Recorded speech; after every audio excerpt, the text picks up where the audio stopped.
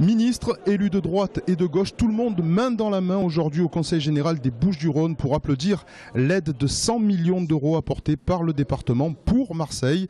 Euh, Jean-Noël Guérigny et Jean-Claude Gaudin, côte à côte, ont signé ce matin la fameuse convention de partenariat. Un partenariat qui s'étalera de 2012 à 2015.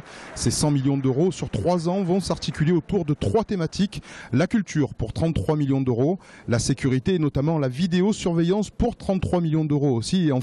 34 millions d'euros pour les équipements sportifs.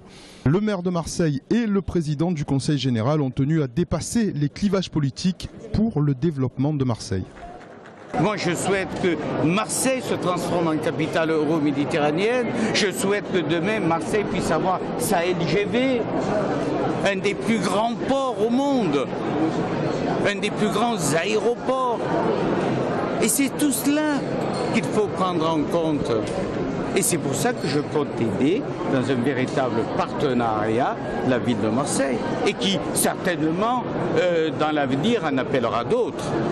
Le Conseil général des Bouches-du-Rhône veut aider la capitale régionale, mais Marseille, et par conséquent cette aide de 100 millions d'euros répartie sur euh, les problèmes de vidéoprotection, sur les problèmes d'équipement sportif, sur les problèmes culturels, c'est une manne bien entendu très utile pour la ville de Marseille au moment où je vais présenter le dernier budget de la mandature actuelle.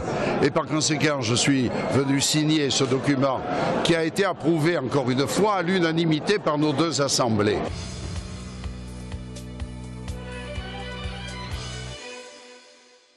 La semaine dernière, le Sénat a levé l'immunité parlementaire de Jean-Noël Guérigny à la demande du juge Duchesne dans le cadre de l'affaire des marchés publics présumés frauduleux.